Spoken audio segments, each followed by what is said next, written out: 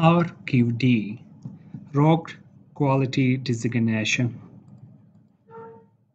Rock quality designation was introduced by Deere in 1964 as an index of assessing rock quality quantitatively.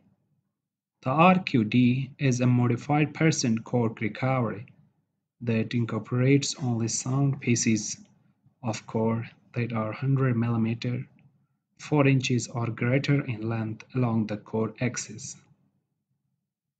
The formula which we are using to find out the RQD of the cores is RQD is equal to sum of core pieces greater than or equal to 10 centimeter divided by total drill run multiplied by 100. RQD is found to be a practical parameter for core logging, but it is not sufficient on its own to provide an adequate description of rock mass. Methods of finding RQD. Number one, direct method. For RQD determination, the International Society for Rock Mechanics recommends a core size of at least NX 54.7 mm drilled with double tube core barrel using a diamond bit. Artificial fractures can be identified by close-fitting cores and uh, surfaces. All of the artificial fractures should be ignored while counting the core length for RQD. A slow rate of drilling will also give better RQD. The relationship between RQD and the engineering quality of the rock mass as proposed by Deere 1968 is seen in Table 4.1. The correct procedure for measuring RQD is shown in Figure 4.1. Table 4.1 tells us the correlation between RQD and a rock quality. If we have got RQD less than 25%, then we have to give it the level of very poor rock quality. If we have got 90 to 100 percent RQD, then we can give it to the excellent rock quality. This is the uh, illustration of how to find out the RQD and the CR. Here you can see the total uh, run of the core is uh, 200 meters, 200 centimeters. And in first we have uh, got RQD is equal to 118 centimeter divided by 200 multiplied by 100. This is the formula to find out RQD. Here we did not include the 38 centimeter uh, of the core because the pieces of the core are less than 10 centimeters. So we are not including uh, the core pieces whose length uh, would be less than 10 centimeters. And the second one is core recovery percentage. We can find out the total uh, uh, recovery of the core is 156 centimeter including these uh, small pieces of the core. And we will uh, divide it by total run of run of the core that is 200 uh, centimeters multiplied by 100 and we can find the 78 uh, percent of the core recovered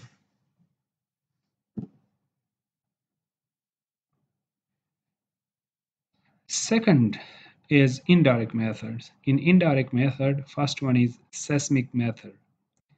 The seismic survey method use, uses the variation of elastic properties of the strata that affect the velocity of the seismic waves traveling through them, thus providing useful information about the surface strata.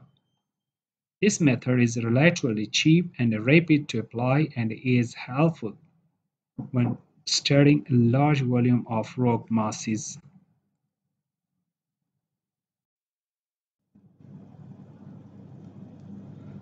The following information regarding rock masses is obtained from these tests. A. Location and configuration of bedrock and geological structures in the subsurface. B. The effect of discontinuities in rock mass may be estimated by comparing the in situ compressional wave velocity with laboratory sonic velocity of intact drill core obtained from the same rock mass. The equation is RQD is equal to Vf divided by Vl whole square multiplied by 100, where Vf is in situ compressional wave velocity and Vl is compressional wave velocity in intact rock core.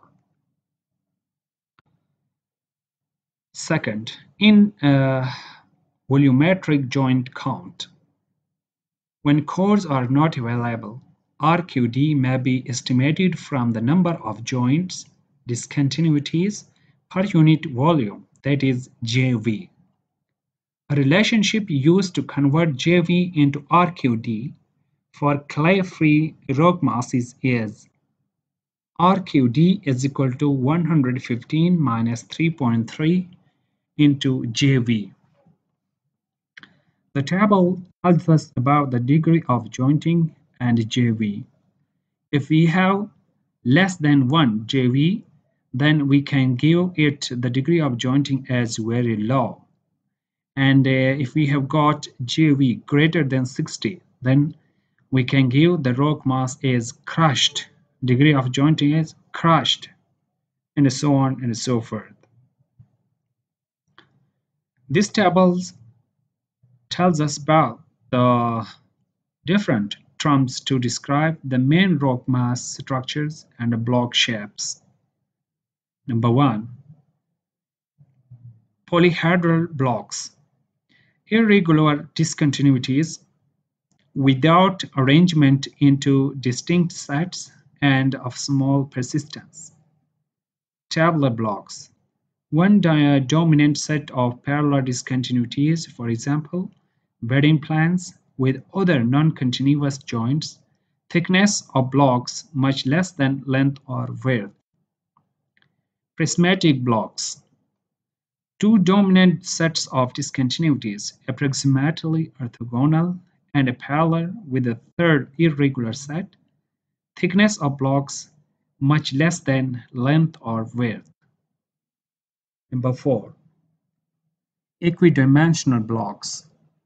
Three dominant sets of discontinuities, approximately orthogonal with the occasional irregular joints giving equidimensional blocks. Number 5. Rhomboidal blocks. Three or more dominant mutually oblique sets of joints giving oblique shaped equidimensional blocks. Number 6. Columnar blocks. Several, usually more than three sets of discontinuities parallel joints, usually crossed by irregular joints, length much greater than other dimension. Application of RQD RQD has been extensively used in engineering classifications of the rock mass. In addition, RQD has also been used to estimate the deformation modulus of the rock mass. Cording and Deere, 1972, attempted to relate the RQD index to Terzaghi's rock load factor. They found that Terzaghi's rock load theory should be limited to tunnels supported by steel sets, as it does not apply to openings supported by rock bolts. Thank you so much.